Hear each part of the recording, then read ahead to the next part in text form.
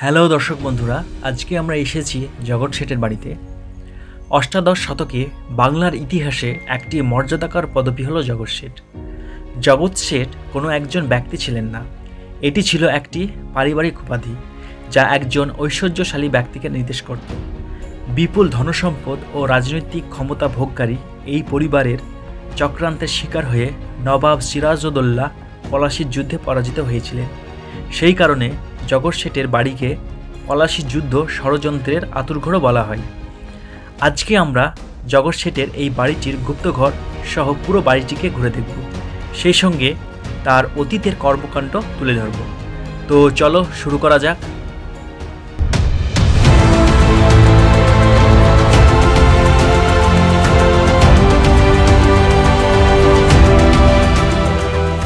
এটি জগৎ শেঠের বাড়ি, ঢোকার প্রবেশপথ এবং টিকিট কাউন্টার। আমরা টিকিট কাউন্টার থেকে টিকিট কেটে নিলাম। ভেতরে ঢোকার প্রবেশ মূল্য কুড়ি টাকা। তো চলো ভেতরে ঢোকা যাক। ভেতরে ঢুকে আমরা সেই আমলের কিছু চেয়ার টেবিল দেখতে পেলাম।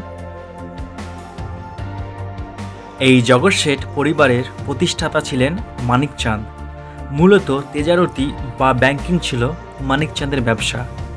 তিনি আঠারোশো শতকের প্রথম দিকে পাটনা থেকে ঢাকা আসেন এবং এখানে একটি বাণিজ্য প্রতিষ্ঠান গড়ে তোলেন।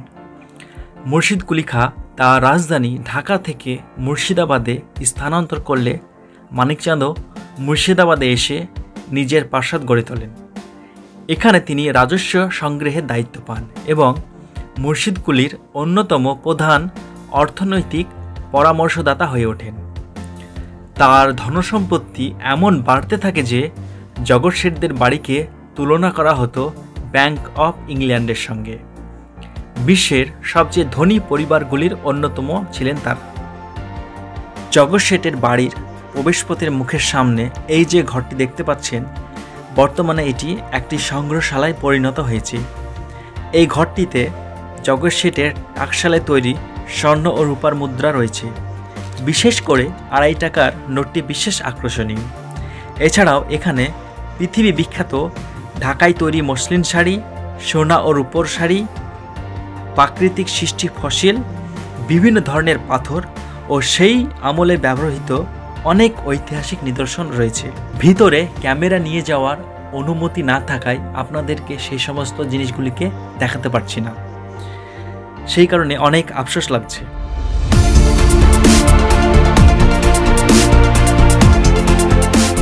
সতেরোশো বারো সালে মুর্শিদ কুলি খা মানিকচাঁদের জন্য শেঠ উপাধি জোগাড় করে দেন তৎকালীন দিল্লির বাদশাহ ফারুক শিয়ার কাছ থেকে। সতেরোশো চোদ্দ সালে মানিকচাঁদের মৃত্যুর পর তার দত্তক নেওয়া ছেলে ফতেহ চাঁদের আমলে সম্পত্তি আরও বহুগুণ বেড়ে যায়। মুঘল সম্রাট মামুর শাহ তাকে প্রথম উপাধি দেন জগৎ শেঠ। নবাবী আমলে নবাব, জমিদার ও ইস্ট ইন্ডিয়া কোম্পানিকে টাকা ধার দেওয়া, রাজস্ব সংগ্রহ, সোনা কেনা বেচা, বিদেশি বণিকদের সঙ্গে বাণিজ্য, বিনিময় মূল্য নির্ধারণ, সবেতেই তিনি ছিলেন সিদ্ধহস্ত। এর মাধ্যমে বছরে তারা প্রচুর মুনাফা করত। সেই সময়ে গোটা বাংলার অর্থনৈতিক লেনদেনের কেন্দ্রবিন্দু ছিল এই বাড়ি। বর্তমানে জগৎ শেঠের বাড়ির প্রতিটি ঘর সংগ্রহশালা রূপে ব্যবহার হচ্ছে। এটি হলো মাটির তলায় সে রহস্যময় গুপ্তঘর যাওয়ার প্রবেশপথ। এই গুপ্তঘরটি দেখার জন্য আপনাকে প্রায় পনেরো ফুট মাটির নিচে নামতে হবে। নবাবী আমলের ব্যবহৃত অনেক শৌখিন জিনিসপত্র, থালা, বাসন, পুতুল ও আরও অনেক কিছু রয়েছে এই ঘরটিতে। খাবারে বিষ মেশানো থাকলে এই থালার সাহায্যে বোঝা যেত। তবে এই সংগ্রহশালার ভিতরে কোনো ছবি তুলতে পারবেন না। মাটির নিচের এই ঘরগুলিতেই নাকি সঞ্চিত থাকত জগৎশেঠ পরিবারের টাকা, পয়সা, সোনা, দানা। এই গুপ্ত ঘরের পাশে দেখলাম একটি সিঁড়ি উপরে চলে গেছে। উপরে গিয়ে আমরা এই ঘরটি দেখতে পেলাম। এই ঘরটিতে সেই আমলের আসবাবপত্র, খাট, ছবি ও একটি টেলিফোন রয়েছে। ঘরটির অপর প্রান্তে একটি আশ্চর্য ধরনের আয়না রয়েছে। কেউ যদি এই আয়নার সামনে দাঁড়ায়, তিনি নিজের মুখ দেখতে পান না। দেহের অন্যান্য অংশ দেখা গেলেও খুব আশ্চর্যজনকভাবে এই মুখ দেখতে না পারার ব্যাপারটা আসলে আয়না নির্মাতাদের কৃতকৌশল